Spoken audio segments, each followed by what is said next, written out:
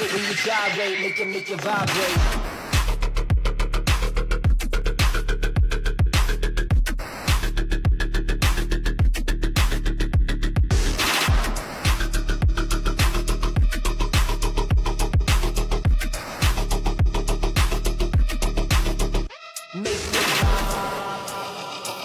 So this is a really fun brush kick turn.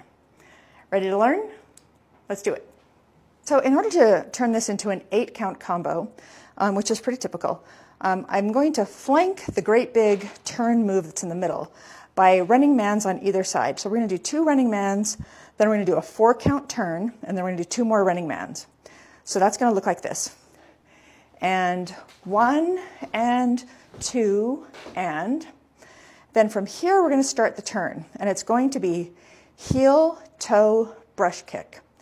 So it's going to be and three, and four, and five, and six, and. So again, after the two running mans, it's going to be and three, and four, and five, and six, and. And then after that, we're going to finish with two more running mans and seven and eight and. But you'll notice now I am not ready for a repeater in the same direction because I'm on a different perch. So now we're going to do the turn in the opposite direction.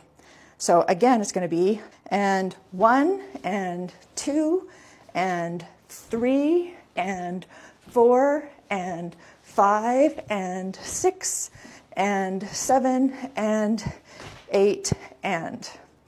So now I'm going to do all 16 counts really slow. And remember, it's the same eight count, just one on the opposite leg.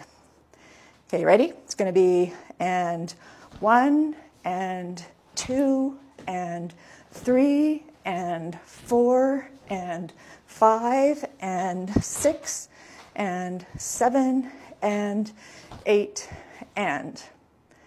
Now we're on the opposite leg, so we're going to go in the opposite direction and one and two and three and four and five and six and seven and eight and. Now we're all ready to do the entire 16 count repeater again. And that's all there is to it. I know I was kind of sloppy trying to do it slow. It's actually a lot easier when you're at a little bit of a faster tempo. But give it a try. Let me know if you have any questions. See you next time.